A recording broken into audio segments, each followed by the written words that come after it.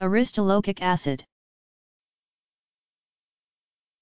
Aristolochic acid Aristolochic acids are a family of carcinogenic, mutagenic, and nephrotoxic compounds commonly found in the Aristolochiaceae family of plants.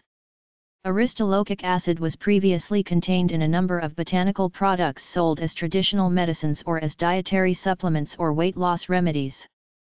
The use of products containing aristolochic acid were found to cause kidney damage, including end-stage kidney failure requiring dialysis or kidney transplantation. In addition, aristolochic acid is carcinogenic, most often in the urinary tract. In sum, aristolochic acid is nephrotoxic and carcinogenic, it is toxic to the kidney and causes cancer. A R I S T O L O C H I C A C I D. Aristolochic acid